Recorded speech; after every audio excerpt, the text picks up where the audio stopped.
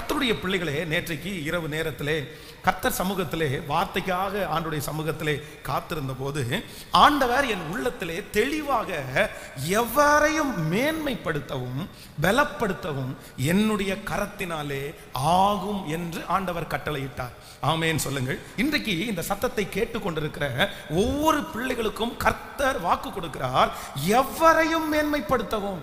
நம்முடைய மனதிற்குள்ளே சில நேரங்களில் இவரை ஆண்டவர் மேன்மைப்படுத்த முடியும் இவங்களை மேன்மைப்படுத்த முடியாது. நம்மளே சிலரை வந்து கணிப்போம். அவருடைய படிப்பை வச்சு நம்ம கணிப்போம். அவர் அவர்கள் நடந்து கொள்கிற விதங்களை வச்சு ஓகே இவன் நல்லா வருவான். இவன் நல்லா வரமாட்டான். இவனுடைய வாழ்க்கை இப்படிதான். இவன் கண்டிப்பா நல்லா வர்றதுக்கு வாய்ப்பே இருக்காது. நம்முடைய மன அளவிலே சிலரை நம்ம வந்து கணிப்போம்.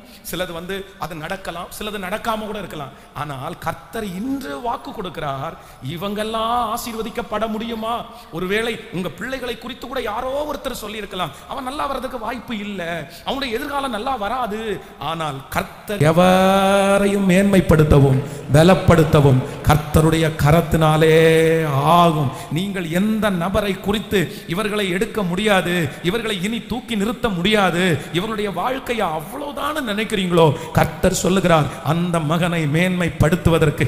கர்த்தருக்கு லேசான காரியம். அந்த மகளை உயர்த்துவது கர்த்தருக்கு கரங்களை தட்டி நம்புகிறவர்கள் எவரையும் எவரையும் எப்பேற்பட்ட நபர்களையும் மேன்மைப்படுத்துவது கர்த்தருக்கு லேசான காரியம். எத்தனை பேர் ஆமோதிக்கிறீர்கள்? இந்த வார்த்தையை நான் தியானித்துக் கொண்டிருக்கும் போது வேதத்தில் வந்து நான் என்ன யோசித்தேன் அப்படின்னு சொன்னால் இந்த எவரையும் அப்படின்ற இடத்துல வாழ்க்கையிலே ரொம்ப தோற்று போனேன். அப்படின்னா இவன் எல்லாம் மேல வரவே முடியாது. இவன் எல்லாம் ஆசீர்வதிக்கப்படவே முடியாது. அப்படி அப்படிப்பட்ட சில மனிதர்களை வந்து கத்தர் மேன்மைப்படுத்தினதை நான் தேடினேன் வேதத்துல. அப்படி யாரையாவது ஆண்டவர் வந்து மேன்மைப்படுத்தி இருக்கிறாரா? அப்போ நிறைய பரிசுத்தவான்களுடைய வாழ்க்கை வந்து எனக்கு முன்பாக இருந்தது. மனிதர்கள் வந்து அவர்களை குறித்து வித்தியாசமாய் நினைத்தார்கள். இவன் இவன் ஆக மாட்டான் அப்படின்னு எல்லாம் நினைச்சாங்க. ஆனா கத்தர் அவர்களை இந்த வார்த்தையின் படியே ஆண்டவர் அவங்கள மேன்மைப்படுத்தினார். அப்போ அப்படி நான் யோசிச்சு கொண்டிருக்கும் போது ஆண்டவர் வந்து ஒரு மனிதனை எனக்கு காண்பித்தான் எனக்கு ரொம்ப ஆச்சரியமா இருந்து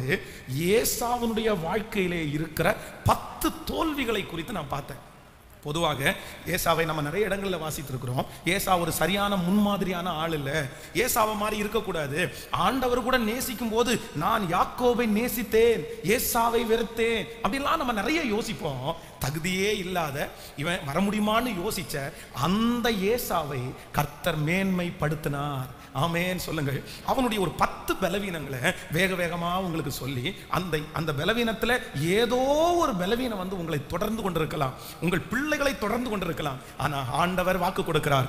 எவரையும் மேன்மைப்படுத்தவும் பலப்படுத்தவும் அவருடைய கரத்தினால் ஆகும். அந்த எவரையும் அப்படின்ற இடத்துல உங்க பிள்ளையினுடைய பேரை போட்டுருங்கம்மா. அந்த எவரையும் என்கிற இடத்துல உங்க கணவனாருடைய பேர் உங்க மனைவியினுடைய பேர் உங்க குடும்பத்துல யார் அப்படிப்பட்ட சூழ்நிலையில் இருக்கிறாங்களோ அந்த இடத்துல கொண்டு வாங்க. நான் நம்புறேன் சீக்கிரமாய் என் தேவன் அவர்களை மேன்மைப்படுத்துவதை நம்முடைய கண்கள் காண போகுது இந்த கரங்களை கட்டி கொண்டு இருக்கும் போதே கத்தருடைய ஆசீர்வாதம் இந்த வசனத்தினுடைய தன்மை இந்த வசனத்தினுடைய பலன் அப்படியே ஒவ்வொரு பிள்ளைகளுக்கும் நடக்க போகிறதற்காக உமக்கு ஸ்தோத்திரம். ஆமென். சொல்லுங்கள். வாசிக்கலாம். வேதத்தை திறந்து முதலாவதாக இந்த ஏசாவனுடைய வாழ்க்கையில அவனுடைய முதல் பலவீனத்தை குறித்து நம்ம வாசிக்க போகிறோம். ஆதியாகமும் இருபத்தி ஐந்தாம் அதிகாரத்தை எல்லாரும் எடுத்துக்கொள்ளலாம். ஆதியாகமும் இருபத்தி ஐந்தாம் அதிகாரத்திலே இருபத்தி ஆறாவது வசனத்தை நம்ம வாசிக்க போகிறோம். பின்பு அவன் சகோதரன் தன் கையினாலே ஏசாவின் குதிகாலை பிடித்து கொண்டு வெளிப்பட்டான். அவனுக்கு யாக்கோபு என்று பெயரிட்டார்கள் இவர்களை அவள் பெற்றபோது ஈசாக்குக்கு அறுபது வயதா இருந்தான். ஆண்டவருடைய பிள்ளைகளே இந்த இடத்துல முதலாவதாக எதை நம்ம பார்க்கிறோம் அப்படின்னு சொன்னா இந்த ஏசாவுனுடைய பிறப்பை குறித்து பார்க்கிறோம். அப்படின்னா ஒரு அம்மாவுடைய வயிற்றுல வந்து இப்பொழுது வந்து ரெட்ட குழந்தைங்க. அப்போ ரெட்ட குழந்தைங்க பிறக்க போகிறது பொதுவாகவே ஒரு ஒரு ஒருத்தருக்கு வந்து குழந்தை பிறக்குது. அதுவும் ரெட்ட குழந்தைங்க அப்படின்னு சொன்னா ஒரு குழந்தை முழுவதுமாக ஃபஸ்ட்டு வெளியே வந்துடும் அவ்வளோதான் அதை எடுத்து முடிச்சதுக்கு அப்புறம் ஒரு ஒரு ஃபைவ் மினிட்ஸு இல்லை ஒரு ரெண்டு மூணு நிமிஷம் தாண்டி அகைன் திரும்ப வந்து அடுத்த குட்டி அடுத்த அடுத்த பிள்ளை வந்து பிறக்கும். நீங்கள் வந்து இந்த மிரு அந்த ஆடு மாடெல்லாம் வளர்த்துனவங்களுக்கு தெரியும். அந்த ஆடு மாடுகள் வந்து ரெண்டு மூணு குட்டி எல்லாம் போடும். அப்போ அதை பார்த்தவங்களுக்கு தெரியும் அந்த அந்த எப்படி அது கு- குட்டி போடும் அப்படின்றது. அப்போது ஆனால் இந்த இடத்துல என்ன நடக்குது அப்படின்னு சொன்னால் முதலாவதாக ஒருத்தன் வர்றான். அவன் என்ன அப்படின்னு சொன்னால் அவனுடைய ரோமம் அதிகமாக இருக்கிறது. பொதுவாக நம்முடைய பிள்ளைகள் வந்து பிறந்த உடனே நிறைய பேர் என்ன மிச்சிக்குவாங்க அப்படின்னா ரெண்டுல மெச்சுக்குவாங்க. ஒண்ணு அந்த குழந்தையினுடைய கலர் இன்னொன்னு அந்த குழந்தையினுடைய முடி. அப்போ எல்லாரும் என்ன சொல்லுவாங்க தெரியுமா? அந்த பிறந்த குழந்தை கொஞ்சம் நிறைய முடி இருக்குன்னா ஐயோ பாரு இந்த வயசுலயே எவ்வளவு முடிப்பாரு இப்பவே எவ்வளவு முடிப்பாரு அப்ப நான் என்ன நம்புறேன் அப்படின்னு சொன்னா ஏசா முதலாவதாக அந்த தாயினுடைய வயிற்றிலிருந்து வெளியே வரும்போது அவ்வளவுதான் ரொம்ப அழகா இருப்பான் போல தெரியுது. இவன் தான் பெரிய ஆளா இருப்பான் போல தெரியுது. இவன் தான் ரெண்டு பேர்லயும் அழகா இருப்பான். என்னென்னமோ கற்பனை பண்ணி முடிக்கிறதுக்குள்ள அவனுடைய தம்பிக்காரன் வரான். அவன் லேட்டாக தான் வரணும். ரெண்டு நிமிஷம் லேட்டாக தான் வரணும். ஆனால் என்ன பண்றான் தெரியுமா? அவனுடைய குதிங்கால பிடிச்சிட்டு அப்போது இவன் இவன் தான் மூத்தவன். பொதுவாக வந்து இந்த ரெட்டை குழந்தைங்க பிறக்கிற இடத்துல ரெண்டும் ஒரே மாதிரி இருக்கும். ஒரே வெயிட்டு ஒரே கலர் இருக்கிறதுனால சிலர் வந்து அடையாளம் கூட போட்டு வைப்பாங்க. இதான் ஃபஸ்ட்டு இதான் செகண்டு ஏன்னா அது தெரியாது நமக்கு. நம்ம அந்த ட்வின்ஸ் பார்த்தீங்க அப்படின்னு சொன்னால் சின்னவன் பெரியவன் மாதிரி இருப்பான் பெரியவன் சின்னவன் மாதிரி அந்த மாதிரி. ஆனால் அந்த மாதிரி இவன் இவன் முதலாவதாக வெளிப்பட்டவன் தான். ஆனால் முழுவதுமாக தன்னுடைய பிறப்பிலேயே தோற்று போனவன் தான் யார் அப்படின்னா இந்த ஏசா. இன்றைக்கு இந்த சத்தத்தை கேட்கிற ஆண்டவருடைய பிள்ளைகளே கத்தர் யாரை மேன்மைப்படுத்த முடியும் தெரியுமா? உங்களுடைய பிறப்பிலேயே நீங்க தோற்று போனவர்களா இருந்தால் கூட என் கத்தர் இன்று வாக்கு கொடுக்கிறார். உங்களை மேன்மைப்படுத்துவது என் தேவனுக்கு லேசான காரியம். உங்க அப்பா ஒருவேளை உங்க திட்டலாம். உங்க அம்மா சொல்லலாம். நீ என்னைக்கு பிறந்தியோ அன்னைக்கு தான் என் குடும்பம் ஒண்ணும் இல்லாம போச்சு. நீ பிறந்ததுல இருந்து உங்க அப்பா கடன் ஆயிட்டாரு நீ பிறந்ததுல இருந்து ஒரு குடும்பம் மானம் போயிருச்சு. நீ பிறந்ததுல இருந்து எல்லாமே தோல்வி ஆயிருச்சு நீ உன்னுடைய பிறப்பு நல்லா இல்ல நீ பிறந்ததுலேருந்து நோயாளியாக நீ பிறந்த உன்னை வளர்த்துறதுக்கு நான் ரொம்ப கஷ்டப்பட்டேன். இந்த சத்தத்தை கேட்கிற யாரோ ஒருத்தர் பிறப்பிலிருந்து நீங்கள் தோல்வியை பார்க்கிறீர்களா? பிறக்கும் போதே நான் தோல்வியை பார்த்தேன் பாஸ்டர். ஒருவேளை சிலருக்கு வந்து இந்த கலர் இருக்கு பாருங்களேன். சில குழந்தைகள் வந்து அந்த கலர் கம்மியா பிறக்கும் போது பிறக்கும் போதே ரிஜெக்ட் பண்ணப்படுவார்கள். சில தகப்பன் சில பொல்லாத தாய் வந்து இது ஏன் குழந்தையே இல்லை இது ஏன் குழந்தையே இல்லை. அதான் அந்த பிறக்கும் போது அந்த குழந்தை வந்து கலர் கம்மியாக பிறந்துச்சுன்னு உடனே நானும் கலர் இல்லாமல் நானும் கலராக இருக்கேன் என் கணவனானும் கலராக இருக்காரு. இது எப்படி இப்படி கருப்பாக பிறந்துருச்சு? இது எப்படி குரங்கு குடி மாதிரி பிறந்துருச்சு? எப்படி வருத்தப்படுத்துவாங்க தெரியுமா? நான் நம்புறேன் இந்த சத்தத்தை கேட்குற யாரோ ஒருத்தர் அப்படி வருத்தப்பட்டிருக்கலாம் நீங்கள் உங்கள் குடும்பமே உங்களை வருத்தப்படுத்தி இருக்கலாம் உங்கள் வம்சம் உங்களை பிறப்பில் உங்களை வருத்தப்படுத்தி இருக்கலாம் பாஸ்டர் நான் ஃபெயிலியரான பர்சன் ஆனால் ஆனால் இப்போ இல்லை. நான் பிறக்கும் போதே நான் வந்து ஃபெயிலியர் எங்க அம்மா சொல்றாங்க உன் கூட பிறந்த எல்லாருமே நல்ல ஆட்கள். ஆனா நீ மட்டும்தான் மோசமானவன். நீ மட்டும்தான் இப்படி. உன்னை உன்னை வளர்த்துறதுக்கு நான் இப்படி பாடுபட்டேன். நீ வந்ததுக்கு அப்புறம் தான் இப்படி எல்லாம். ஆனால் என் தேவனாகிய கத்தர் வாக்கு கொடுக்கிறார். பிறப்பிலேயே தோற்று போன அந்த ஏசாவை கர்த்தர் மறுபடியும் நினைத்து அவனை கத்தர் ஆசீர்வதித்து ஹாலேலோயா எவரையும் மேன்மைப்படுத்த முடியும் என்கிறதை நிரூபித்த கர்த்தர் இன்றைக்கு இந்த இடத்துல கர்த்தர் உலாவுகிறார். வெகு சீக்கிரத்தில் இந்த லீபனோன் பெரிய காடாய் மாற போகிறது கர்த்தர் உன்னுடைய பிறப்பிலே இருக்கிற சாபத்தை கர்த்தர் எடுத்து போடுவாராக. உன்னுடைய தாய் வழி தகப்பன் வழி வந்த இந்த சாபம் ஓ ஹாலே லூயா உன்னுடைய பிறக்கும் போதே உனக்கு இருக்கிற அந்த தோல்வியை கர்த்தர் மாற்றி போட்டு உங்களை மேன்மைப்படுத்துவது கர்த்தருக்கு லேசான காரியம். கைகளை அசைத்து ஒரு ஹாலே லூயா சொல்லலாம். ஸோ நம்பர் டூ இரண்டாவதாக எனக்கு ரொம்ப ஆச்சரியமா இருந்துச்சு.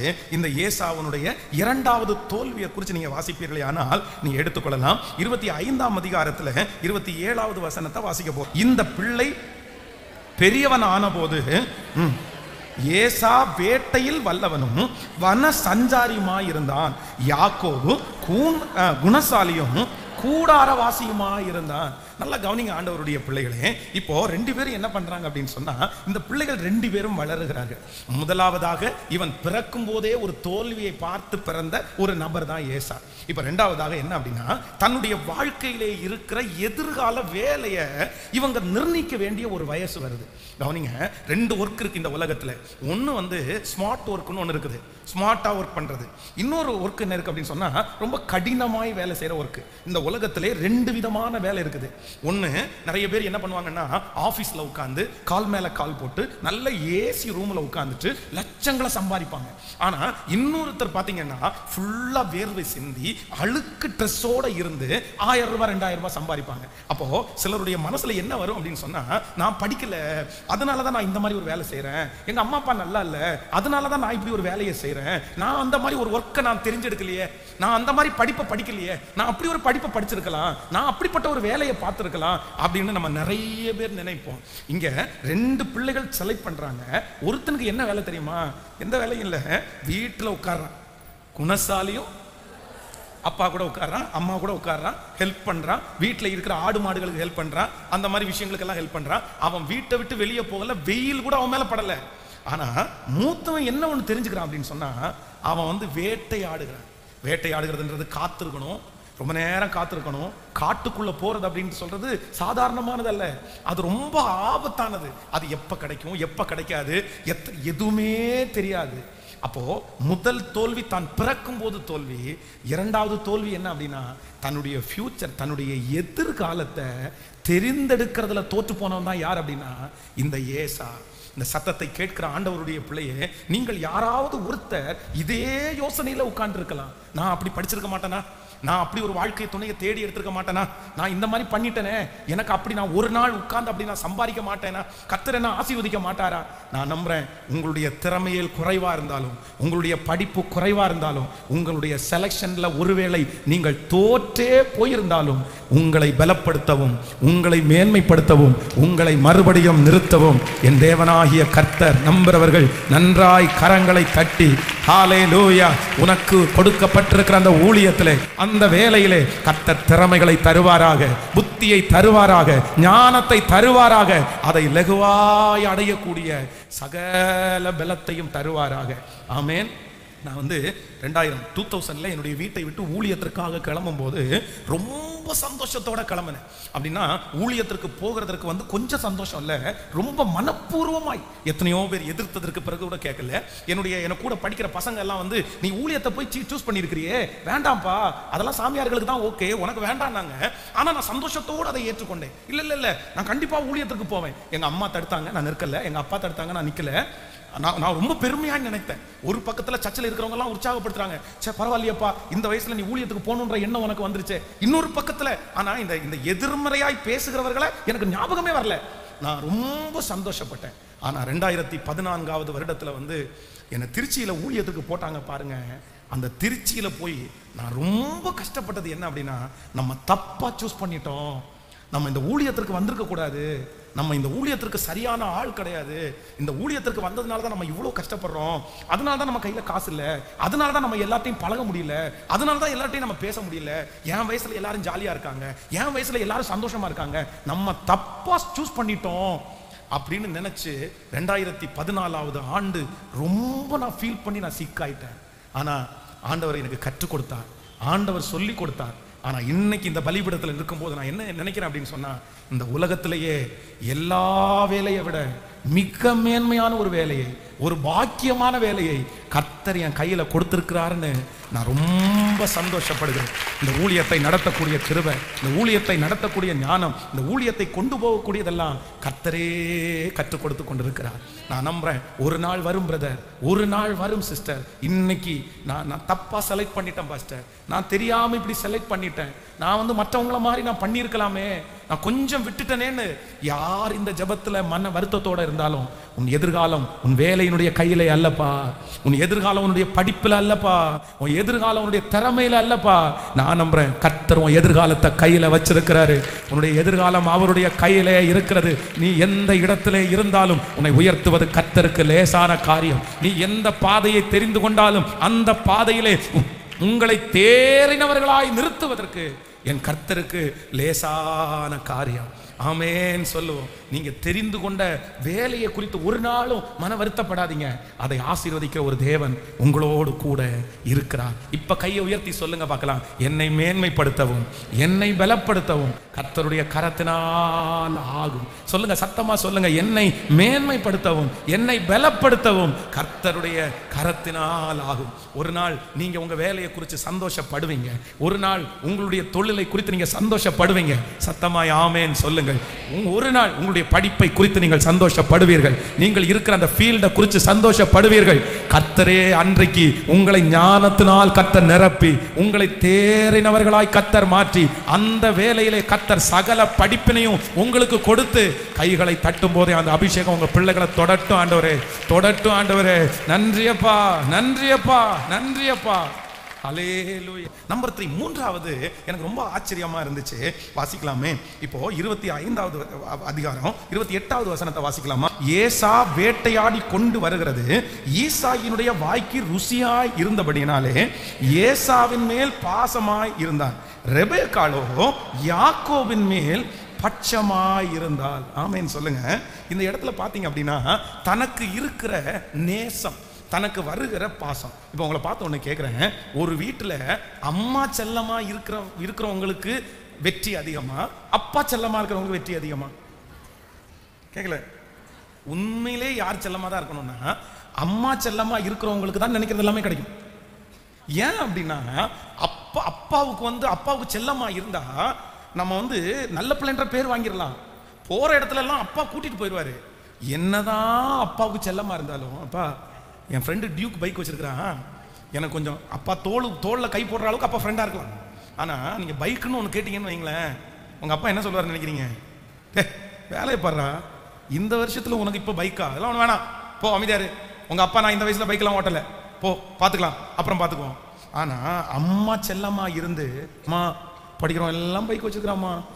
நான் சும்மா போகிறேம்மா அவன் நம்மளை இலக்காரமாக பார்க்குறாம்மா நான் சாப்பிடலாமா எனக்கு சாப்பாடு வேணாமா அப்படின்னு சொல்லிட்டானா ஏங்க ஏங்க ஏங்க அட என்ன ஏங்க அட என்ன பாருங்க பொக்குன்னு இருக்காங்க அவன் மூஞ்சி பொக்குன்னு போச்சுங்க.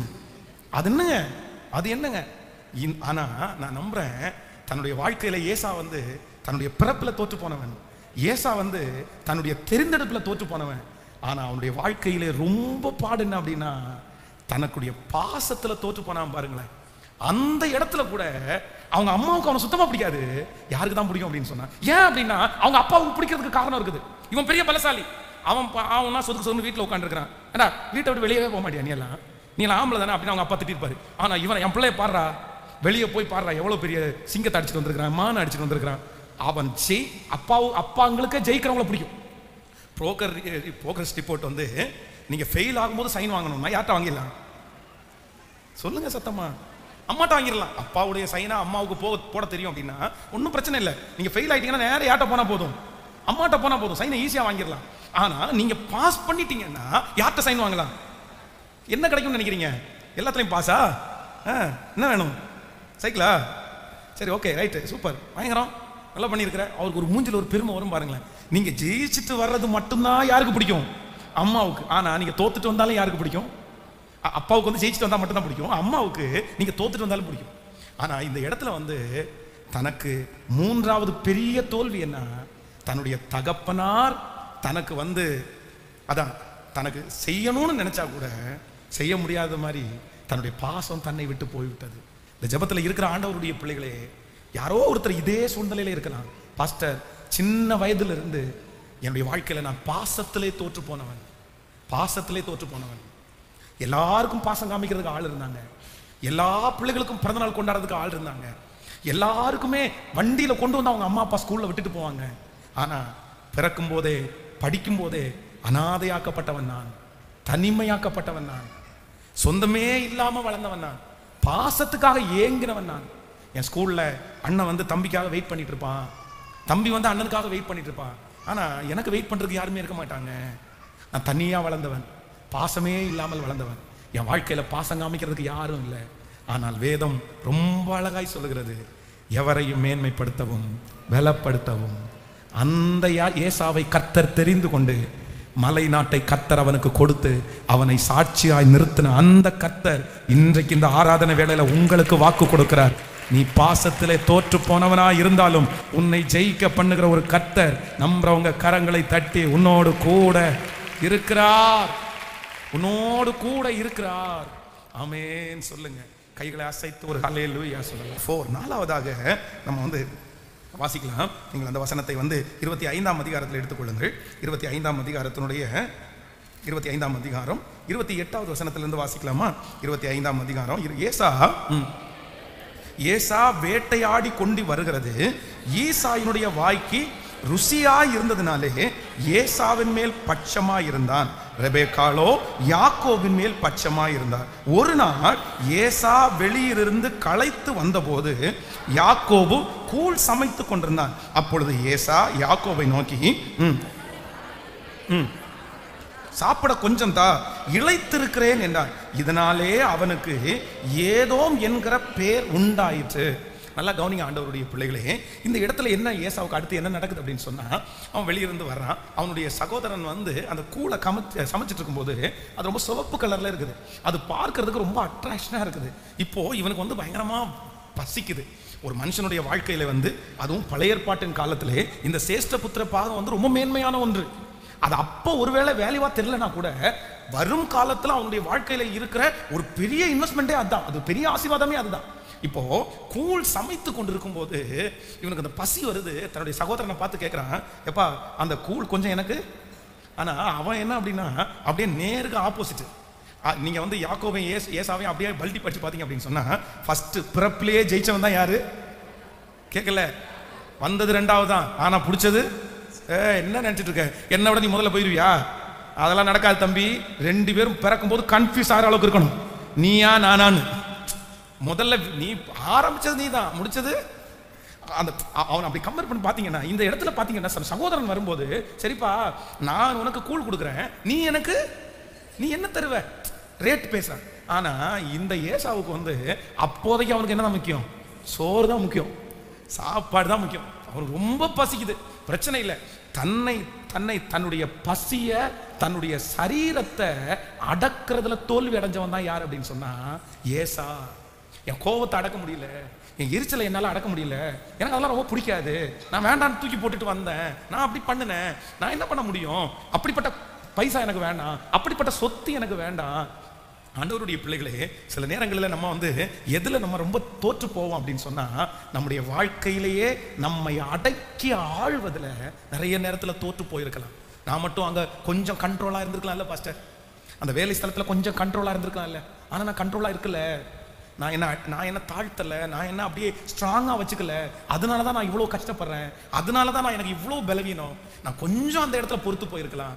ஆனால் வேதம் சொல்லுகிறது உங்களை மேன்மைப்படுத்தவும் பலப்படுத்தவும் கர்த்தருடைய கரத்தினாலே. எத்தனை பேர் ஆமோதிக்கிறீங்க? இந்த சத்தத்தை கேட்கிற யாரோ ஒருத்தர் தங்களுடைய இருதயத்தில் ரொம்ப ஃபீல் பண்ணி பாஸ்டர் நீங்கள் இதுவரையும் சொன்னதில்லை இப்போ சொன்னது உண்மைதான் பாஸ்டர் எனக்கு எனக்கு கோபத்தை அடக்க தெரியாது.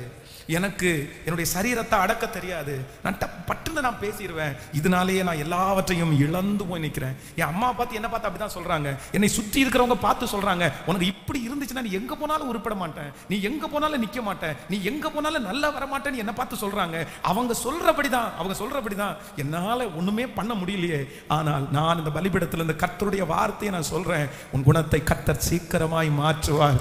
கத்தர் உன்னை பலப்படுத்துகிற தேவன். கர்த்தர் உன்னை அவர் அவர்கள் எல்லாருக்கும் முன்பாகவும் ஒரு சாந்தமுள்ள மனுஷனாய் ஓ மோசைய போல கத்தர் சாந்த குணமுள்ள மனிதனாய் நம்புறவங்க கரங்களை தட்டி கத்தர் இனி இழக்காதபடி இனி அந்த குணம் உங்களிலே செயல்படாதபடி ஹாலே லூயா காக்கிறதற்கு கர்த்தர் வல்லவராயிருக்கிறார் ஆமேன். சொல்லுங்க. கைகளை உயர்த்தி ஒரு ஒரு வார்த்தை சொல்லுங்க ஏசப்பாட்ட.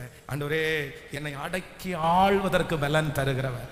சொல்லுங்க பார்க்கலாம். என்னை அடக்கி ஆள்வதற்கு பலன் தருகிறவர். ஒரு காலத்துல ஏசாவால பசியை அடக்க முடியல கோபத்தை அடக்க முடியல. ஆனா ஒரு காலம் வரும்போது அவனுடைய சகோதரன் எதிராய் வருகிறான். தன் வாழ்க்கையிலே தன்னை நஷ்டப்படுத்தின சகோதரன் எதிராகி வருகிறான்.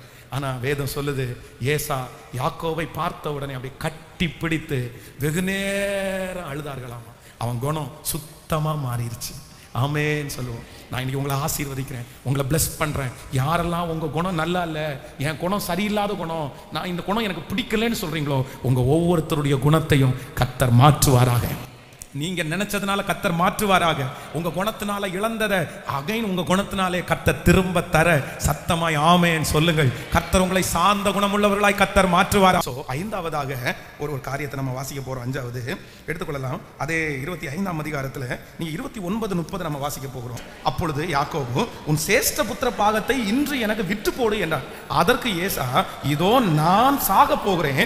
இந்த சேஷ்ட புத்திர பாகம் எனக்கு என்னத்திற்கு என்றான் கவனிங்க ஆண்டவருடைய பிள்ளைகளே இந்த குணம் என்ன அப்படின்னா இவன் வந்து கூளை வைத்திருக்கிறான் அப்போ இந்த ஏசா வந்து அவனோட விலை பேசுறது வந்து சம்பந்தமே இல்லாத விலை பேசுறான் அப்படின்னா ஏசாவனுடைய கையிலே இருக்கிற பொருள் வந்து விலையேற பெற்றது சேஷ்ட புத்திர பாகம் அது வந்து பணம் கொடுத்தா கூட கிடைக்காதுன்னு வச்சுங்களேன் அப்படி ஒண்ணு ஆனா இ- இவங்கிட்ட இருக்கிறது ஏக்கோட்ட இருக்கிறது அவ்வளோதான் ஒரே ஒரு நேரம். சாப்பிட்டு முடிச்ச உடனே ஒன் டேல சரியா போயிடும் அதுக்கப்புறம் அதுக்கு வேல்யூவே கிடையாது. அந்த மாதிரி ஒன்று ஆனால் இந்த மனுஷன் சொல்கிறான் நீ வந்து எனக்கு வந்து கொடுக்கறதுக்கு இதை கொடுத்துருவியான்னு கேட்ட உடனே தன்னுடைய எதிர்காலத்தை குறித்து கொஞ்சம் கூட யோசிக்காம தங்கிட்ட இருந்ததை அப்படியே தாரை வார்த்துட்டான் பாருங்களேன்.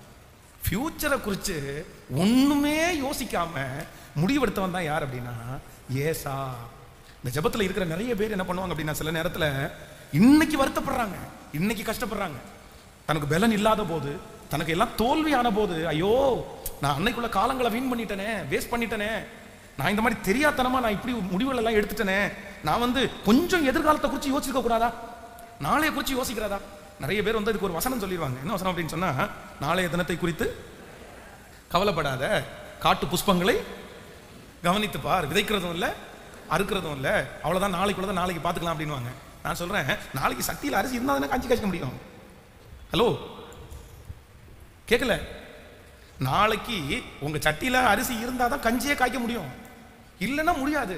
சிலருக்கு ஒரு ஹேபிட் இருக்குது பயங்கரமான ஊதாரித்தனம். நான் சொல்கிறேன் இது இது ஆவி மாதிரி ஒரு ஆவி மாதிரி. அந்த பணத்தை கையில் வச்சுக்கவே முடியாது அவங்களால. அந்த ஆசீர்வாதத்தை அவங்களால கையில் வச்சுக்கவே முடியாது. இந்த மாதிரி ஏசா மாதிரி ஒரு கேரக்டர் தான். யார் கேட்டாலும் எடுத்து கொடுத்துருவாங்க. அதுவும் விலை விலையேற பெற்றதை விலை குறைந்ததற்கு கூட கொடுத்துருவாங்க.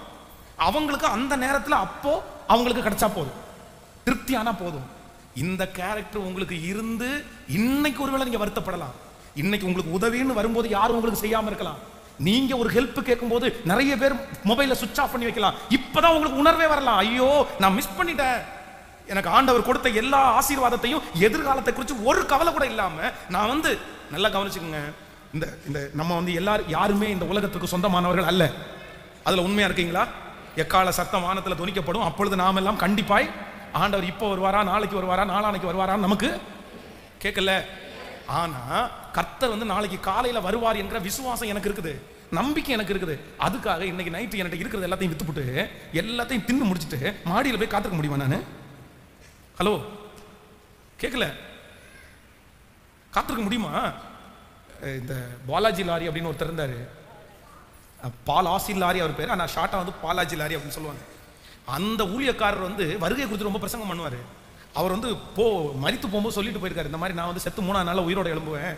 உங்களை எல்லாரும் கூட்டு கூட்டு போவேன்னு சொல்லிட்டு. உட அவர் சொன்ன உடனே சொத்தெல்லாம் வித்துட்டு அவருக்காக காத்திருந்தவங்க நிறைய பேர். அப்போ சிலர் வந்து சில செய்திகளை கேட்ட உடனே என்கிட்ட வந்து போன ஒரு மாதத்துக்கு முன்னாடி ஒருத்தர் கேட்டாரு. பாஸ்டர் என் சொத்தெல்லாம் வித்துருவான்னு கேட்டாரு. சொத்தெல்லாம் நான் உடனே கேட்டேன் ஏன் கடன் வச்சிருக்கீங்களான்னு கேட்டேன். இல்லை ஆண்டவர் தான் வர்றாருல பாஸ்டர் வந்துட்டார்ல. ஓ, நான் போகலையே. இல்லை ஆண்டவர் தான் வந்துட்டார்ல. என்ன சொல்றீங்க? இல்லை ஒருத்தர் ஒரு ஊழியக்காரருடைய பேரை சொல்லி சொன்னார். அவர் பேசுறத பார்த்தா அவ்வளோதான் பாஸ்டர் இனியெல்லாம் காலம் தாங்காது. உண்மைதான். இல்லைன்னு சொல்ல நான் வார்- வருகையை நான் விசுவாசிக்கிறேன். வருகையை எதிர்பார்க்க வித்துறவா சொத்தை சரி வித்துட்டு என்ன பண்ணுறது பண்ண போறீங்க? அப்படின்னு கேட்டால் இந்த பாருங்க வித்துட்டு எல்லாம் சாப்பிட்டு அழிச்சிட்டு நம்ம பாட்டுக்கு வெறுங்கையா அப்படியே போயிடலாம் இல்லை சரி நீங்கள் நாளைக்கு நாளானைக்கு வந்துருவாருன்னு விசுவாசிக்கிறீங்க. ஒருவேளை நாளானைக்கு நாளானைக்கு வராம அவருக்கு வேற வேற ஒரு வேலை இருந்துச்சு. அவர் ஒரு ஆண்டவருக்கு ஒரு வேலை ஆயிடுச்சு. ஒரு ஒரு ஒரு மாதம் தாண்டி வரப்பா அப்படின்னு அவர் டேட்டை ஃபிக்ஸ் மாத்திட்டாருன்னா என்ன பண்ணுறது ஏன்னா அவருக்கு நம்ம டேட் கொடுக்க முடியாது. வரலான்னு தான் இருந்த. சரி என்னாலும் அங்கே ரத்னபிக்காரன் ஒருத்தன் கத்திட்டே கிடந்தான். இன்னும் கொஞ்சம் இறக்கம் வைங்க அப்படின்னா. அதனால வரலன்னு சொன்னால் என்ன பண்ணுறது ஒரு பத்து நாள் லேட்டாக வந்துட்டாருன்னா என்ன பிரதர் பண்ணுறது சாப்பாட்டுக்கு அப்படின்னு. அடுத்த வார்த்தை வரும் அதான் நீங்களாம் இருக்கீங்கல்ல. அவன் நிறைய பேருக்கு காமெடி ஆயிடுச்சு வாழ்க்கை. அப்படின்னா எல்லாத்தையும் அழிச்சிடணும். எல்லாத்தையும் முடிச்சிடணும். எல்லாத்தையும் காலி பண்ணிடணும். காலி பண்ணி அப்படியே உட்காந்தாதான் அவங்களுக்கு என்ன வரும்? ஒரு சமாதானம் வரும். இல்லை இல்லை. ஆனால் அந்த கேரக்டருக்காக நீங்கள் வருத்தப்படுவீர்களே ஆனால் இயேசு இன்னைக்கு வாக்கு கொடுக்குறார். இயேசு இன்னைக்கு உங்களுக்கு வாக்கு கொடுக்குறார். உங்களை மேன்மைப்படுத்தவும். பாஸ்டர் நீங்க சொல்றதெல்லாம் உண்மைதான் பாஸ்டர் ஆண்டவர் எனக்கு கொடுத்திருக்கிறது எல்லாவற்றையும் நான் இழந்து எல்லாவற்றையும் நான் கொடுத்து எதிர்காலத்தை குறித்து ஒரு யோசனை கூட இல்லாமல் என் டைமே நான் வீண் பண்ணி என் நாட்களை வீணடிச்சு இன்னைக்கு ஒன்றும் இல்லாமல் நான் உட்காந்துருக்கிறேன் எனக்கு தெரியுது எனக்கு தெரியுது. ஆனால் நான் நம்புறேன் இயேசு உங்கள் மேலே இறக்கம் காண்பிப்பார். கர்த்தர் ஏசாவின் மேலே இறக்கம் காமித்தவர் உங்கள் மேலே இறக்கம் காமிச்சு உங்களை உயர்த்துவது கர்த்தருக்கு. கர்த்தருக்கு லேசான காரியம். நம்புறவங்க சத்தமா அப்பாவை பார்த்து நம்புற ஆண்டவரேன்னு சொல்லுங்க. முழு பலத்தோட நான் நம்புற ஆண்டவரே. முழு பலத்தோட நான் நம்புற ஆண்டவரே. நான் விசுவாசிக்கிற ஆண்டவரே. என் எதிர்காலத்தை குறித்து எனக்கு கண்டிப்பா என்ன வேணும்? பக்கத்தில் இருக்கிற கையை பிடிச்சி சொல்லுங்க. எதிர்காலத்தை குறித்து கவலை இல்லைன்னா கூட எதிர்காலத்தை குறித்து அக்கறை இருக்கணும்னு சொல்லுங்கள் நல்லா சொல்லுங்கள் கை கொடுத்து சொல்லுங்க எல்லாரும். வெட்கப்படும். அப்பதான் தூங்க மாட்டீங்கன்னு நினைக்கிறேன். பக்கத்தில் கொடுங்க சொல்லுங்க. எதிர்காலத்தை குறித்து அக்கறை இருக்கணும். உங்க வாழ்க்கையை குறித்து அக்கறை இருக்கணும். ஆமேன். எத்தனை பேருக்கு அக்கறை இருக்குது? ஆமீன். வாலிப தம்பிங்க தங்கச்சிங்களுக்கு எல்லாருக்கும் சொல்றேன். உடைய ஃப்யூச்சரை குறித்து கண்டிப்பா அக்கறை வேணும்ப்பா நாளைக்குள்ளதை நாளைக்கு பார்த்துக்கிறேன்னு நினைச்சிட்டு தள்ளி விடாத. தயவு செய்து தள்ளி விடாத உன்னுடைய திருமண திருமணம் ஆகிறதற்கு முன்பாக உன்னுடைய பாதையை நீ வந்து அந்த பாதையில் நீ நிற்கணும் இதுதான் உனக்கு பாதை அப்படின்னு உனக்கு தெரிய வரணும். கல்யாணத்திற்காக ஆயத்தமாகி இன்னும் திருமண வாழ்க்கைக்குள்ளே போகாத ஒவ்வொரு பிள்ளைகளுக்கும் சொல்கிறேன் நீ மேரேஜ் ஆகிறதுக்கு முன்னாடி கத்தர் உனக்கான பாதையில் உன்னை கொண்டு போய் உட்கார வச்சிடணும். இதுதான் உன் வேலை இதுதான் உன் சம்பாத்தியம் இதுதான் உன் ஃபியூச்சர் இதுதான் நீ பண்ண போகிற அப்படின்ற ஒரு க- ஒரு ஒரு ஒரு பிளான் கத்தர் கொடுத்துட்டாருன்னா ரொம்ப ஈஸியாக நீங்கள் ஓட முடியும். அப்படி இல்லாதவங்க அந்த பாதையை கத்திரத்துல கேட்டுக்கொள்ளுங்கள். ஆமேன்னு சொல்லுங்க. நம்பர் சிக்ஸ் ஆறாவதாக நீங்க இருபத்தி ஐந்தாம் அதிகாரம் முப்பத்தி இரண்டாவது வசனத்தை வாசிக்கும் போது இருபத்தி ஐந்தாம் அதிகாரம். ஸ்தோத்திரம். அதே வசனம் தான். இருபத்தி ஐந்தாம் அதிகாரத்தில் முப்பத்தி ரெண்டாவது வசனத்தை வாசிப்போமே. ஆனால் அதற்கு ஏசா இதோ நான் சாக போகிறேன். ம். அப்பொழுது யாக்கோபு இன்று எனக்கு ஆணையிட்டு கொடு என்றான். அவன் யாக்கோபுக்கு ஆணையிட்டு தன் சேஷ்டபுத்திர பாசகத்தை அவனுக்கு விற்று போட்டான். ஸோ நம்பர் சிக்ஸ் ஆறாவது ஆசீர்வாதத்தை அசட்டை பண்ணினவன். ஆசீர்வாதத்தை காத்து கொள்ளாததுல தோற்று போய் ஆசீர்வாதத்தை அசட்டை பண்ணல தோற்று போனவன். நம்பர் செவன் ஏழாவது வந்து அடுத்து வேகமாக போகலாம் நீங்கள் வந்து இருபத்தி ஆறாம் அதிகாரம் முப்பத்தி நாலாவது வசனத்தை வாசிக்க போகிறோம். இருபத்தி ஆறாம் அதிகாரம் முப்பத்தி நாலு. ஏசா நாற்பது வயது ஆனபோது ஏத்தியனாகிய பேரனுடைய குமாரத்தியாகிய யுத்தியையும் ஏத்தியனான ஏலோனுடைய குமாரத்தியாகிய பஸ்மத்தையும் விவாகம் பண்ணினான். நன்றாய் கவனிங்க. நீங்கள் வந்து ஆதியாகமம் இருபத்தி ஆறாம் அதிகாரம் முப்பத்தி ஐந்தாவது வசனத்துல வாசிப்பீர்களே. ஆனால் அவர்கள் ஈசாக்குக்கும் ரெபேக்காளுக்கும் மன்ன நோவா இருந்தார்கள். எல்லாரும் கவனிக்கிறீங்களா? கைகளை அசைத்து ஒரு ஹலையிலூயா சொல்லலாம். ஸோ நம்பர் செவன் ஏழாவது ஈசா ஏசா தன்னுடைய வாழ்க்கையில எங்க தோற்று போனான் அப்படின்னா தன்னுடைய திருமண வாழ்க்கையிலே தோற்று போனவன் தான் இந்த ஏசா. அப்படின்னா அவன் ரெண்டு பேரை கல்யாணம் பண்றான். எத்தனை நினைச்சு கல்யாணம் பண்றான் அப்படின்னு சொன்னா தன்னுடைய அம்மாவையும் அப்பாவையும் நல்லா பார்த்துக்கணும். சந்தோஷமா பார்த்துக்கணும். இந்த ஒரு எண்ணம் தான் அவனுக்குள்ள இருந்துச்சு. ஆனா அடுத்து திரும்ப ஒரு கல்யாணம் பண்ணணும்னு அவன் நினைச்சதுக்கு காரணம் என்ன அப்படின்னா இவங்க நம்முடைய அம்மா அப்பாவை நல்லா பார்த்துக்கல. அந்த மருமகள்கள் வந்து இவங்க ரெண்டு பேருக்கும் மன்னனோவா இருந்தார்களாமா. தன்னுடைய வாழ்க்கையை செலக்ட் பண்றதுலேயே அவன் அவன் தோற்று போயிட்டான் பாருங்களேன். தன்னுடைய திருமண உறவிலே தோற்று போயிட்டான் பாருங்களேன். இந்த ஜபத்தில் இருக்கிற இந்த சத்தத்தை கேட்கிற யாரோ ஒருத்தர் ஏசாவை போல உண்மையிலே பாஸ்டர் என்னுடைய வாழ்க்கையில நான் தோற்று போனது வேற எங்கேயும் கிடையாது. என்னுடைய திருமண உறவில் நான் தோற்று போனதா நான் ஃபீல் பண்றேன். ஏசாவை போல எனக்கு ஒரு சரியான கணவன் எனக்கு ஒரு சரியான மனைவி எனக்கு அமையல. என் பிள்ளைக்கு ஒரு சரியான கணவன் என் பிள்ளைக்கு சரியான ஒரு மனைவி அமையல. ஆனால் நான் நம்புகிறேன் அந்த குடும்பத்தையும் சீர்படுத்தி ஸ்திரப்படுத்தி கர்த்தர் மறுபடியும் நிலை நிறுத்தி விசுவாசிக்கிறேன் எவரையும் மேன்மைப்படுத்தவும் இன்றைக்கு இந்த ஆலயத்திலே உங்களை தொடுகிற தேவ பிரசன்னம் பிரிந்து போன குடும்பங்களை ஒன்றுபடுத்தட்டும் சமாதான குறைவுள்ள குடும்பங்களுக்கு ஒரு சமாதானத்தை வரிசிக்க பண்ணட்டும். அலேலூயா ஸோ நம்பர் செவன் ஏழாவது திருமண உறவிலே தோற்று போனவன் தான் யார் அப்படின்னா இந்த ஏசா. ஸோ நம்பர் எயிட் எட்டாவதாக ரொம்ப ரொம்ப இன்ட்ரெஸ்டாக இருக்கும் பாருங்களேன் இந்த எட்டாவது. இருபத்தி ஏழாம் அதிகாரத்தை எடுங்க இருபத்தி ஏழாம் அதிகாரத்தில் ஐந்தாவது வசனத்தை வாசிப்பீர்களே ஆனால் இருபத்தி ஏழாம் அதிகாரம் ஐந்தாவது வசனம் ஈசாக்கு தன் குமாரனாகிய ஏசாவோடே பேசுகையில் ரெபேக்கால் கேட்டு கொண்டிருந்தாள் ஏசா வேட்டையாடி கொண்டு படும்படி வனத்திற்கு போனான். கவனிங்க இங்கே என்ன நடக்குது அப்படின்னு சொன்னால் அவனுடைய தகப்பனாருக்கு கண்ணு தெரியல. ஆனால் இவருக்கு என்ன அப்படின்னா இவனுடைய சேஷ்ட புத்திர பாகத்தையும் இந்த பையன் இழந்துட்டான். ஆனால் இவன் ரொம்ப நல்ல பையன். எனக்கு போய் இவன் சமைச்சு கொண்டு வர்ற பையன். அதனால கடைசியாக இவனுக்கு ஆசீர்வாதத்தையாவது கொடுக்கணும்னு அவர் முடிவு பண்ணிட்டாரு. அதனால கண்ணு தெரியாம இருந்தாலும் அவனை மட்டும் தனியா அழைச்சிட்டு போயிட்டு எப்பா நான் அவனை ஆசீர்வதிக்க போறேன். நீ ஒன்று பண்ணு. நீ போய் வேட்டையாடி கொண்டு வந்து எனக்கு கொடுத்துரு. நான் அவனை சாப்பிட்டு ஆசீர்வதிக்கிறேன்றாரு. இந்த ஏசா வந்து அப்பா அந்த வார்த்தையை சொன்னாரோ இல்லையோ அவ்வளோதான் அடுத்த நிமிஷம் அவனுக்கு ரெண்டாவது எந்த தாட்டுமே வரல. அடுத்த நிமிஷமே அவ்வளோதான் எல்லாத்தையும் ஆயுதங்கள் எல்லாம் எடுத்துட்டு அப்படியே ஓடிட்டான். அப்படின்னா நம்- நம்மளா இருந்தா என்ன பண்ணுவோம் அப்படின்னு சொன்னா அப்பாவுக்கு கண்ணு தெரியல நமக்கு கண்ணு தெரியுது அப்பா இதை மறைச்சு சொல்றாரு. அவனுக்கு இல்லாம எனக்கு மட்டும் சொல்றாரு. ஏன்னா அவன் ஏற்கனவே ரெண்டு ஆசீர்வாதத்தை பிடுங்கிட்டான். அம்மா ரொம்ப அவனுக்கு சப்போர்ட்டு அப்பா இப்போ சொல்லியிருக்கிறாரு யாராவது பார்க்குறாங்களா யாராவது ஒட்டு கேட்குறாங்களா நமக்கு எப்போவுமே ஒரு கான்சியஸ் இருக்கும். அது மாதிரி இந்த மாதிரி சீக்ரெட் எல்லாம் சொல்லும்போது. ஆனால் ஏசாவுக்கு தன்னுடைய தாய் இப்படி ஒரு துரோகத்தை பண்ணுவாங்கன்னு கனவுல கூட அப்போ நான் என்ன நினைக்கிறேன் அப்படின்னு சொன்னால் ஏசா வெகுளியான ஒரு மனுஷன். ரொம்ப வெகுளித்தனம். அப்படின்னா நல்லது கெட்டது இது பண்ணணும் இது பண்ணக்கூடாது அப்படின்ற அறிவு கூட இல்லை. வேதம் சொல்லுகிறது நீங்கள் புறாக்களைப் போல கபடற்றவர்களா இருந்தாலும் எப்படி இருக்கணுமா மாமா?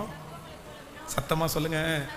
பாம்புகளைப் போல வினா உள்ளவர்களாய் இருக்கிற ஜீவ ஜந்துக்களிலே பறக்கிறதுலையே ரொம்ப அமைதியானது சாந்தமானது கசப்பே இல்லாதது பிச்சே இல்லாதது புறா. இருக்கிற எல்லா ஜீவராசிகளிலையும் ரொம்ப மோசமானது விஷத்தன்மை உடையது வஞ்சிக்கிறது பிசாசே தனக்குன்னு செலக்ட் பண்றது எது? கேட்கல சர்ப்பம்.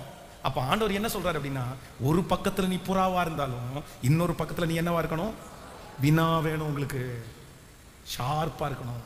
அப்போ இந்த ஜபத்தில் இருக்கிற யாரோ ஒருத்தர் அப்படி வந்திருக்கலாம். யாருக்காக கத்தர் சொல்றான்னு தெரியல. பாஸ்டர் என்னை எல்லாரையும் ஏமாத்திடுவாங்க என்னை எல்லாரையும் ஏமாத்திடுவாங்க நான் ரொம்ப வெகுளியான ஒரு ஆள். நான் ஆசீர்வதிக்க கூடுமா கத்தர் என்ன ஆசீர்வதிப்பாரா? என்னை மேன்மைப்படுத்த முடியுமா? எங்கள் தாய் என்னை சொல்லிட்டாங்க நீ இப்படியே இருந்தேன்னா எல்லாத்தையும் நீ இழந்துருவப்பா. ஆனால் தேவன் இன்று வாக்கு கொடுக்கிறார் உன்னை மேன்மைப்படுத்துவதற்கும் பலப்படுத்துவதற்கும் கர்த்தருடைய கரத்தினால். விசுவாசிக்கிறீங்களா இல்லையா? எத்தனை பேர் நம்புறீங்க? என்னுடைய வெகுளித்தனத்தை எல்லாம் கர்த் உலகம் வித்தியாசமாய் பயன்படுத்தும் போது இயேசு என் பட்சத்தில் இருந்து எனக்காக வழக்காடி என்னுடையதை மீட்டு கொடுத்து நான் நம்புறேன் கர்த்தர் என்னை யாக்கோவுக்கு முன்பாக எனக்கு எல்லாம் இருக்குது. எனக்கு கர்த்தர் எல்லாத்தையும் கொடுத்துட்டாரு. எனக்கு ஒரு குறையும் இல்லைன்னு ஏசாவை நடத்தின கர்த்தர் உங்களையும் என்னையும் நடத்துவதற்கு கர்த்தர் வல்லவராய் இருக்கிறார். கரங்களை தட்டி கத்தரை ஆமே தேங்க்யூ ஜீசஸ் என்னை பலப்படுத்துகிற கிறிஸ்துவ அவர். எத்தனை பேர் விசுவாசிக்கிறீர்கள்? யாரை கத்தர் மேன்மைப்படுத்துவாராமா? ஏசாவனுடைய கேரக்டர் என்னென்னா அவனுடைய எட்டாவது கேரக்டர் என்ன அப்படின்னு சொன்னால் அவன் ரொம்ப வெகுளித்தனமான ஒரு மனுஷன். ரொம்ப சாஃப்டான அப்படின்னு அது இது இன்னொரு அர்த்தம் என்னன்னா ஒரு பக்கம் மட்டுமே பார்க்குறவன். அவனுக்கு இன்னொரு பக்கத்தை என்ன பண்ண தெரியாது? பார்க்க தெரியாது. ஆனால் உங்களுடைய வாழ்க்கையில் வந்து ஒரு மனிதனை சந்திக்கும் போது வெறும் ஒரு பக்கம் இல்லை. கண்டிப்பாக எத்தனை பக்கத்தை பார்க்கணும்? ஒரு மனுஷனுடைய வாழ்க்கையிலே ஒரு பக்கம் அல்ல. ரெண்டு பக்கம் இருக்குது. ரெண்டு பக்கம் இருக்குது. அதான் உலகத்தில் சொல்லுவாங்கல்ல வெளுத்ததெல்லாம் பாலுன்னு நினச்சிட முடியாது அப்படின்னு சொல்லி. ஏசாவனுடைய கேரக்டரில் நிறைய பேர் இருந்து தோற்று போயிருக்காங்க ஒரு பக்கமே. பாசமாக சொல்லிட்டாங்கன்னா நம்பிடுறது. வாக்கு கொடுத்தாங்கன்னா நம்பிடுறது. அப்படின்னா ஓகே அவ்வளோதான்றது இல்லை இல்லை இல்லை. எப்பவும் எந்த காரியத்தை துவங்கும் போதும் ஒரு தேவனுடைய பிள்ளை ஒரு பக்கத்தை இல்லை எத்தனை பக்கத்தை பார்க்கணும்? ஒரு பிஸ்னஸ் ஆரம்பிக்கும் போது கூட லாபத்தை மட்டும் கணக்கு போட்டுறக்கூடாது. எதையும் கணக்கு போட்டுறணும். நஷ்டம் வந்துச்சுன்னா என்ன பண்றது? நஷ்டம் வந்தால் நான் இந்த நஷ்டத்தில் இருப்பேனா? நாலு மாதம் இந்த கம்பெனி ஓடலைன்னா என்னால் ரன் பண்ண முடியுமா? வெறும் லாபத்தை மட்டும் கணக்கு போட்டுறக்கூடாது. ரெண்டு புறத்தையும் பார்க்கணும். ரெண்டு புறத்தையும் பார்க்கணும். திருமணம் ஆக போகிறவர்கள் எல்லாம் அப்படிதான். ரெண்டு புறம் இருக்குது. திருமண வாழ்க்கையில் நான் நினைச்சிருக்கிற மாதிரி என்னுடைய கணவனார் என்னுடைய மனைவி அமைஞ்சா நான் இப்படி போகலாம் ஒருவேளை அப்படி அமையல வித்தியாசமாக இருக்குதுன்னா நான் எப்படி அதை மாற்றணும் நான் எப்படி அதற்காக சரியாயிக்கணுன்ற ஞானம் கத்தவங்களுக்கு தரணும். இல்லைன்னா இந்த உலகத்தில் வாழ முடியாது உங்களால். ஆமேன்னு சொல்லுங்கள் கத்தர் மேன்மைப்படுத்த வல்லவர். ஸோ நம்பர் நைன் ஒன்பதாவதாக நீங்கள் வந்து இருபத்தி ஏழாம் அதிகாரம் முப்பதாவது வசனத்தை வாசிக்கும் போது இருபத்தி ஏழாம் அதிகாரம் முடிச்சிடலாம். இருபத்தி ஏழாம் அதிகாரம் வந்து இருபத்தி ஏழாம் அதிகாரம் முப்பதாவது வசனத்தை வாசிக்கலாமா எல்லாரும்? ஈசாக்கு யாக்கோபை ஆசீர்வதித்து முடிந்த போது யாக்கோபு தன் தன் தகப்பனாகிய ஈசாக்கின் சமூகத்தை விட்டு புறப்பட்ட உடனே அவன் சகோதரனாகிய ஏசா வேட்டையாடி வந்து சேர்ந்தான். சரி எனக்கு உண்மையிலே இந்த வசனத்தை வாசிக்கும் போது கொஞ்சம் வந்து கஷ்டமா இருந்துச்சு. இவனுடைய ஒன்பதாவது தோல்வி என்ன அப்படின்னா இவன் லக்கே இல்லாத ஒரு ஆள். யாரு? சொல்லுங்க. இவங்க அப்பா கேட்கிறாரு யாக்கோபிட்ட கேட்கிறாரு எப்பா இவ்வளவு சீக்கிரமா இது உனக்கு எப்படி அகப்பட்டுச்சுன்னு கேட்கிறாரு உடனே யாக்கோ ஒரு டயலாக் விடுறான் பாருங்களேன். என்ன டயலாக் உம்முடைய தேவனாகிய கர்த்தர் எனக்கு நேரிட பண்ணினார். ஆனா அம்மாவுக்கு தப்பாம பிறந்திருக்கு பாருங்க அந்த புள்ள. அம்மா ஒரு புழுகினி. புள்ள அதை விட அப்பனா இருப்பான் போல தெரியுது. அந்த அம்மாட்ட கேக்குது அந்த புள்ள அம்மா எங்க அண்ணன் பிறக்கும் போதே நிறைய முடிவுள்ள உள்ள அவன் எந்த அளவு யோசிச்சிருக்கான் பாருங்களேன் யாக்கோபு கண்டிப்பா அப்பா என்ன பண்ணுவாரு? தடவி பார்ப்பார். இவன் கெஸ் பண்ணது நடந்துச்சா இல்லையா? நடந்துச்சா இல்லையா? உடனே அவங்க அம்மா ஐடியா சொல்கிறாங்க நீ ஏன்ப்பா கவலைப்படுற? உனக்கு முடி தானே வேணும். உனக்கு நேச்சராக முடியலன்னா நான் ஆர்டிஃபிஷியலாக உண்டு பண்ணுறேன்னு அடித்த ஆட்டினுடைய தோலை மேலே போத்தி இப்போ போ. என்ன ஐடியா கிரிமினல் வேலை. அப்போது இவன் போய் நின்ட்டான். இப்போ போய் நின்ன உடனே அவங்க அவங்களுடைய தகப்பனார் வந்து இவ்வளோ சீக்கிரமாக நேர்ந்துச்சா? அவருக்கே ஆச்சரியம். ஏன் அப்படின்னா நீ வந்து வேட்டையாட போனால் கொஞ்சம் நேரம் டைம் ஸ்பெண்ட் பண்ணி ரொம்ப நேரம் தாண்டி தான் அது கிடைக்கும். உடனே சொன்ன உடனே அவர் ஆசீர்வதிக்கிறாரு. ஒரு ரெண்டு நிமிஷத்துக்கு முன்னாடி ஒருவேளை ஏசா அந்த ரூமுக்குள்ள பூந்திருந்தான்னா நடக்கிறதே? சொல்லுங்களேன் எப்படி இருந்திருக்கும் பாருங்களேன் சீன் நினைச்சு பாருங்களேன். ஒரு அவன் ஆசீர்வதித்து ஏசுவி நாம் அப்படி கை பா என்ன? என்ன? டேய் யாரா நீ? அவன் திருட்டு பய திரும்ப வந்திருக்கிறான். அவனை வெளியே துரத்துங்க. போடா அப்படின்னு செவில வந்து அந்த பக்கம் போய் உட்காரு. நீ இங்கே வந்துட்டியா? அந்த ரெண்டு நிமிஷத்துக்கு முன்னாடி வந்திருந்தா அவன் கதையே வேற. ஆனால் கரெக்டாக அவங்க அப்பா செக் பண்ணி அவனை ஆசீர்வதிச்சு எல்லா ஆசீர்வாதத்தையும் கொடுத்து முடிச்சு இவன் வாசலில் போகிறான் இவன் திரும்பி பார்த்தீங்கன்னா இவன் இந்த ரூம்குள்ள வந்து போகிறான் சம்மந்தமே இல்லாமல் நீ எதுக்கு இப்போ வந்துட்டு போகிற சரி சரி போப்போ அப்படின்ட்டு உள்ளே வந்தா அந்த ஒரு நிமிஷத்தினுடைய அந்த ஃபைவ் மினிட்ஸ்னுடைய அந்த கேப்பு அவனுடைய வாழ்க்கையே அப்படியே சீரழிக்க பண்ணிருச்சு. அதான் நிறைய பேர் ஏசாவுக்கு தலை என்ன வார்த்தையை சொன்னாங்க அப்படின்னா அவன் லக் இல்லாதவன் அவன் ராசி இல்லாதவன் இந்த ஜபத்தில் இருக்கிற யாரோ ஒரு தேவனுடைய பிள்ளையே இந்த பத்து விஷயத்தில் இந்த விஷயம் உன்னுடைய விஷயமா கூட இருக்கலாம். உண்மை பாஸ்டர் உண்மை பாஸ்டர் எல்லாருக்கும் சரியாக நடக்கும். நான் போகும்போது ஸ்டாப் ஆயிடும் பாஸ்டர் நான் போகும்போது அது நடக்காது. எல்லாரும் அதில் வெற்றி பெறுவாங்க. ஆனால் ஏன் கை வச்சா அது ஒன்றும் இல்லாமல் போயிடும் நிறைய நிறைய பேர் டைரக்டாக என்னை பார்த்து சொல்லியிருக்காங்க. நீ தரித்திரம் பிடிச்சவன். நீ தரித்திரம் பிடிச்சவன். நீ கை வச்சா ஒன்று கூட உருப்படாது. அது விளங்காது. அது நல்லா வராது. இந்த வார்த்தையை சொல்லி உங்களை வருத்தப்படுத்தினாங்களா? இந்த வார்த்தையை சொல்லி உங்களை கஷ்டப்படுத்தினாங்களா? ஆனால் வேதம் சொல்லுகிறது எவரையும் மேன்மைப்படுத்தவும் எவரையும் பலப்படுத்தவும் என் கத்தருடைய கரத்தினா ஆமேன்னு சொல்லு சொல்லுங்க. உலக ராசி இல்லாத சொ- சொன்ன உன் கையை கத்தரை ஆசீர்வதிச்சு பெஸ்டா ஆசீர்வாதமான கையாய் சீக்கிரம் மாற்றுவார். இந்த வருஷம் இந்த வருஷம் அது நடக்கணும்னு நான் ஜெபிக்கிறேன். இந்த பலிபீடத்திலிருந்து நான் உங்களை ஆசீர்வதிக்கிறேன். கண்டிப்பா கத்தர் இனி யோசேப்பு கை செய்த எல்லாவற்றையும் ஆசீர்வதிச்சது போல நீங்க கை வைக்கிற எல்லாம் ஆசீர்வாதமா இருக்கும். நீங்க செய்யறதெல்லாம் ஆசீர்வாதமா இருக்கும். கத்தருடைய ஆவியானவர் உங்களை தொட ஆரம்பிச்சதுக்கு பிறகு நான் நம்புறேன். நீங்க இனி நான் ஜெபிக்கிறேன். இந்த முழங்கால் யுத்த ஜெபத்திற்கு பிற்பாடு நீங்க கை வைக்கிறதுல கத்தர் ஆசீர்வாதத்தை தருவாராக. ஆமேன். நீங்க லக்கு இல்லாத ஆள் இல்லை. நீங்க லக்கு உள்ள ஆள் அப்படின்னு சொல்லி உங்களை சுற்றி இருக்கிறவர்கள் பேசுகிற ஒரு காலம் சீக்கிரமாய் வந்துவிடும். விசுவாசிக்கிறீங்களா இல்லையா? கைகள் மேல உயர்த்தி நான் நம்புறேன் ஆண்டவரேன்னு சொல்லுங்க பார்க்கலாம் ஹalleluya. எல்லாரும் சொல்லுங்க நான் நம்புறேன் ஆண்டவரே. முழு பலத்தோட சொல்லுங்க ஆண்டவரே உங்க பிள்ளைகளை இப்ப குறிச்சு நினைச்சு நீங்க ஜெபம் பண்ணுங்க. என் பிள்ளைக்கு இதே பேர் தான் பாஸ்டர் இருக்குது. என் பிள்ளை என் கண்ணு முன்னாடி வச்சே திரு திட்டுனாங்க பாஸ்டர். கைகளை உயர்த்தி நான் நான் விசுவாசிக்கிறேன் ஆண்டவரே. என் பிள்ளைக்கு ஒரு நல்லது நடக்க போகிறதற்காய் என் பிள்ளை இனி காலடி எடுத்து வைக்கிற அடி உறுதிப்படுகிறதற்காக ஸ்தோத்திரம்னு சொல்லுங்க. நிச்சயமாய் உறுதிப்படும் வாலிப தம்பி உறுதிப்படும். ஹalleluya உன்னுடைய ஸ்கூல்ல உன்னுடைய காலேஜ்ல எந்த இடத்துல எல்லாம் நீ ஒன்றுமில்லைன்னு சொல்லப்பட்டாயோ கத்தர் நிச்சயம் ஒரு நாள் உன்னை ஹalleluya நீ தேறினவன் நீ நன்மை உள்ளவன் உன் கையில் ஆசீர்வாதம் இருக்குன்னு கண்டுகொள்கிற நாள் வரும். நன்றி அப்பா நன்றி ஆண்டவரே. நன்றி ஆண்டவரே. அமேன்னு சொல்லுங்க. நான் ஒரு சாட்சியை சொல்லி வேகமாக நான் இது ஒரு பாயிண்ட் எனக்கு முடிச்சிடுறேன். உங்களுக்கு ஒரு விசை சைக்கிள் ஓட்டுறதுக்கு ரொம்ப ஆசையாக இருந்துச்சு எனக்கு. எயித் ஸ்டாண்டர்ட் படிக்கும்போது.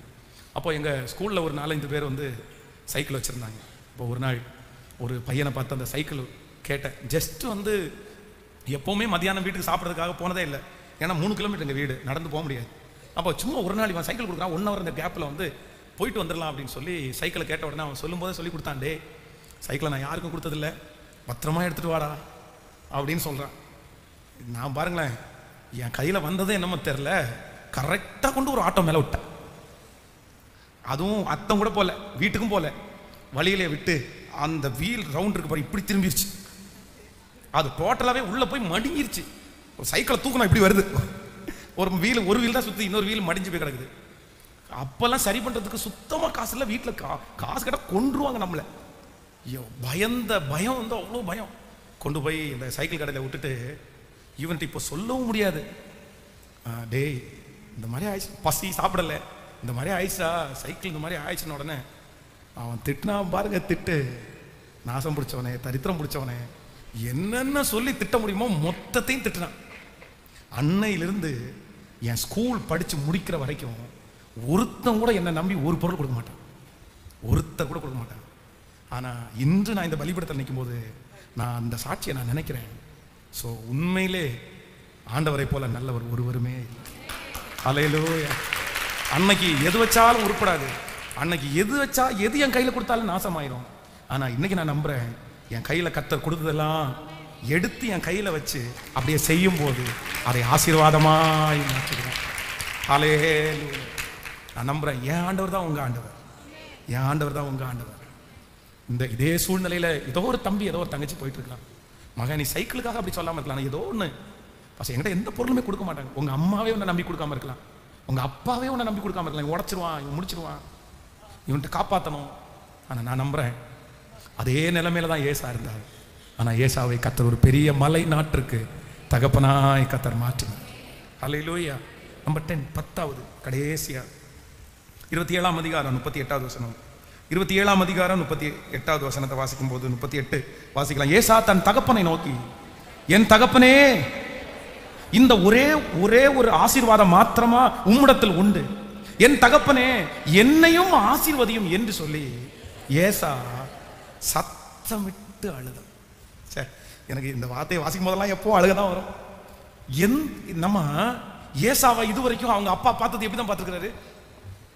சொல்லுங்க. எங்க பையனை அவங்க பையனை அவங்க அப்பா பார்க்கும் போதெல்லாம் தைரியசாலி தான் பார்த்துருக்காரு. என் பையன் சிங்கம்ப்பா. அவெல்லாம் ஒன்ன மாதிரி வீட்டில் யாக்கோவை திட்டும்போது கூட அவங்க அப்படி எப்படி திட்டுப்பாரு தெரியுமா? நீ சும்மா வீட்டில் உட்காந்துருக்கிற மாதிரி இல்ல அவன் சிங்கக்குட்டி அவன் எங்கே போயிருக்கான்? காட்டுக்கு போயிருக்கான்டா. வரும்போது மானோட தானே வருவான் வேட்டாடி தானே வருவான். இது வரைக்கும் ஒரு நாள் கூட அதரியசாலியாய் கோழையாய் பயப்படுகிறவனாய் அழுகிறவனா அவங்க அப்பா ஏசாவை பார்த்ததே இல்லை. இவன் பெரிய பலசாலி இவன் பெரிய மனதைரியம் உள்ளவன். இவனை யாருமே அசைக்க முடியாது அப்படின்னு அவங்க அப்பா ஏசாவை குறித்து ஒரு பெரிய கற்பனை கூட்டம் கட்டிட்டு இருந்தாரு. ஆனா உண்மையிலே ஏசா வெளி தோற்றத்திற்கு தைரியசாலியாய் பலசாலியாக இருந்தாலும் உள்ளுக்குள்ள அவன் யார் தெரியுமா? ஒரு பயங்கரமான ஒரு கோழை. ஒரு பெரிய நமக்கா இருந்தால் அந்த இடத்துல கோபம் தான் வரும். நமக்கா இருந்தால் அந்த இடத்துல எல்லாத்தையும் தூக்கி போட்டு உடச்சிட்டு என்ன இப்படி பண்ணிட்டீங்கன்னு தான் சொல்லுவோம். ஆனா அவ்வளோ பெரிய களைத்து போய் அவசர அவசரமாக சமைச்சிட்டு வந்து சாப்பிடுங்கப்பான்னு சொல்லும்போது தன்னுடைய தகப்பனார் சாப்பிட்டு தன்னை ஆசீர்வதிக்க முடியாதுன்றத அவனால் பொறுத்துக்கவே முடியல. அழுறா என் தகப்பனே என் தகப்பனே. இந்த ஒரே ஒரு பிளஸிங் மட்டும்தான் அப்பா வச்சிங்களா? எனக்கு வேற ஒண்ணு கூட வைக்கலையாப்பா. சத்தமிட்டு அழுதானா சத்தமிட்டு அழுதானா அப்ப எந்த அளவுக்கு அவன் உள்ளுக்குள்ள அவன் மனசுக்குள்ள அந்த ஃபீல் எந்த அளவுக்கு அவன் மனசுக்குள்ள வேதனையா இருந்திருக்கும்? இந்த சத்தத்தை கேட்கிற ஆண்டவருடைய பிள்ளையே நீ பலசாலியை போல நடிக்கலாம். நீ பெரிய தைரியசாலியை போல இருக்கலாம். ஆனால் உன் உள்ளம் உடஞ்ச உள்ளம். நீ ஃபெயிலியர்ன்ற வார்த்தை உன் இருதயத்துக்குள்ள பேசிகிட்டே இருக்கலாம். நீ பிரயோஜனமற்றவன் என்கிற வார்த்தை உனக்குள்ளே வந்துட்டே இருக்கலாம். இந்த ஏசாவனுடைய அதே நிலைமை உங்களுக்கு நீடிச்சுட்டே இருக்கலாம். உண்மைதான் பாஸ்டர். இந்த ஏசாவனுடைய சேம் கேரக்டர் இன்னும் ஒரு பத்து நிமிஷம் என்ன நீங்க உட்கார வச்சிங்கன்னா நான் எழுதுருவோம் பாஸ்டர். என் மனசு முழுக்க அத்தனை நாட்களும் தன்னுடைய தோல்வியை தன்னுடைய தகப்பனுக்கோ தன்னுடைய தாய்க்கோ தன்னுடைய சகோதரனுக்கோ அவன் காமிச்சதே இல்லை. ஆனா அத்தனையும் சேர்த்து இனி நான் தோத்தரக்கூடாது இனி நான் ஜெயிச்சே ஆகணும்னு தன் வாழ்க்கையில எவ்வளவு பெரிய எஃபோர்ட் கொடுக்க முடியுமோ அவ்வளவு எஃபோர்ட் அன்னைக்கு கொடுத்துட்டான் என் வாழ்க்கையினுடைய கடைசி முயற்சி. அவ்வளவுதான். இது வரைக்கும் எத்தனையோ நம்ம மிஸ் பண்ணிட்டோம். ஆனா அப்பாட்டண்டு இந்த ஆசீர்வாதத்தை நம்ம மிஸ் பண்ண கூடாதுன்னு நினைச்சு அவன் வீட்டுல இருந்து கிளம்புனதுல இருந்து அந்த அந்த அந்த மிருகத்தை எடுத்து சமைச்சு பத்திரப்படுத்தி கொண்டு வந்து வர்ற வரைக்கும் அவனுடைய இருதயத்துல ஒரே ஒரு டார்கெட் சீக்கிரம் போயிடணும் சீக்கிரம் போயிடணும். இந்த ஆசீர்வாதத்தை நம்ம மிஸ் பண்ணிடவே கூடாதுன்னு நினைச்சான். ஆனா எவ்வளவு கற்பனையா எவ்வளவு நினைப்பாய் அவன் போயிட்டு வந்தானோ அவன் கனவுல கூட இப்படி ஒண்ணு நடக்கும்னு நினைக்கல. ஆனா அவனுக்கு அங்க எதிராய் நடக்குது. அவனுடைய ஆசீர்வாதத்தை இன்னொருத்தன் வாங்கிட்டான். அவனுடைய உழைப்பிற்கு அங்க மரியாதையே இல்லை. அவன் பட்ட பாடுகளுக்கு ஒரு அங்கீகாரம் கூட அந்த இடத்துல இல்லை. என் தகப்பனே என் தகப்பனே இன்னைக்கு யாரோ ஒருத்தர் இந்த சூழ்நிலை இருக்கிறத ஆவியானவர் என்னுடைய இருதயத்தில் உணர்த்துறார். இதே சூழ்நிலை தான் பாஸ் எனக்கு நீடிச்சுட்டே இருக்குது. ஆனா ஏசாவின் தேவனாகிய கத்தர் வாக்கு கொடுக்கிறார். எவரையும் மேன்மைப்படுத்தவும் பலப்படுத்தவும் எவரையும் மேன்மைப்படுத்தவும் பலப்படுத்தவும் அவருடைய கரத்தினால் ஆகும். ஏசாவுக்கு மலை நாட்டை கொடுத்து பிளஸ் பண்ணி யாரும் அதுல இருந்து ஒரு அடி கூட நிலம் கூட எடுக்கக்கூடாது. அது மொத்தத்தையும் என் மகனாகிய ஏசாவுக்கு நான் கொடுத்தேன்னு சொன்ன அந்த கர்த்தர் இந்த சத்தத்தை கேட்கிற உங்களை பார்த்து சொல்றாரு வெகு சீக்கிரத்துல இப்படி ஒரு நாளை கர்த்தர் உனக்கு கட்டளை இடுவார் இந்த பத்து பலவீனத்தின் மத்தியிலையும் இந்த பத்து பலவீனத்தின் மத்தியிலையும் உங்களோடு கூட இருக்கிற தேவன் பெரியவர் என்கிறதை கரங்களை தட்டும் போதே அந்த மகிமை. Thank you Jesus thank you Jesus amen hallelujah எவரையும் மேன்மைப்படுத்தவும் பலப்படுத்தவும் கர்த்தருடைய கரத்தினாலா ஹலேலூயா ஸோ இந்த பத்து பலவீனமும் உங்களுக்குள்ள இருந்தாலும் நான் நம்புகிறேன் உங்களை அழைத்த தேவன் அவருடைய கரத்தில் உங்கள் வாழ்க்கையை கொடுங்க. இந்த பத்து பலவீனத்தையும் கத்தர் மாற்றுவதற்கு வல்லவராக இருக்கு. நம்பர் ஒன் முதலாவது பிறவியிலேயே தோற்றவன். நம்பர் டூ தெரிந்தெடுப்பில் தோற்றவன். நம்பர் த்ரீ பாசம் காட்ட சரியான நபர் இல்லாத அதிலே தோற்று போனவன். தன்னை அடக்குவதில் தோற்று போனவன். எதிர்காலம் பற்றி அறிவிலே தோற்று போனவன் ஆசீர்வாதத்தை அசட்டை பண்ணி அதிலே தோற்று போனவன் திருமண உறவிலே தோற்று போனவன் ம். அதை ஒரே பக்கமாய் பார்த்து வெகுளியாய் உலகத்தின் பார்வையிலே தோற்று போனவன் ஒன்பதாவது ராசியே இல்லாதவன். நம்பர் பத்து எதையும் தாங்கக்கூடிய மனம் பக்குவம் இல்லாத வெளியிலே பலசாலியான உள்ளுக்குள்ளே ஒரு கோலை ஆனால் அவனை தான் கத்தர் என்ன பண்ணார் அப்படின்னா அவருடைய சகோதரன் ஆடு மாடுகள் எல்லாம் அனுப்பும்போது திரும்பி வரும்போது சொல்கிறான் இதெல்லாம் இதெல்லாம் என்னத்திற்கு? என் கத்தர் என்னை நிறைவாய். உன்னை விட நிறைய என்ன கத்தர் கொடுத்துட்டாரு நீ தான் பரதேசிய போல அலைஞ்ச. ஆனா கத்தர் என்னை சுகமாய் குடியிருக்க பண்ணுங்க ஹalleluya. கத்தர் உங்க பட்சத்தில் இருப்பார். கத்தர் உங்களோடு கூட இருப்பார். நான் உங்க எல்லாரையும் பிளஸ் பண்றேன். இந்த ஆண்டு ஆண்டவர் உங்க எல்லாரையும் நினைக்கிற ஒரு ஆண்டாய் மாறிவிட்டோம் ஆமேன்னு சொல்லு